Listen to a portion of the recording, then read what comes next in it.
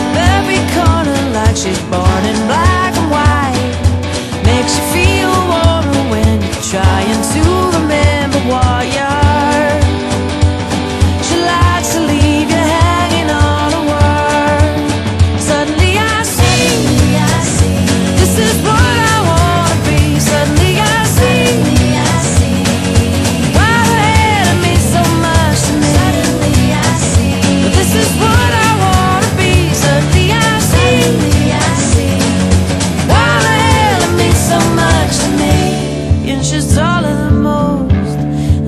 looking at me.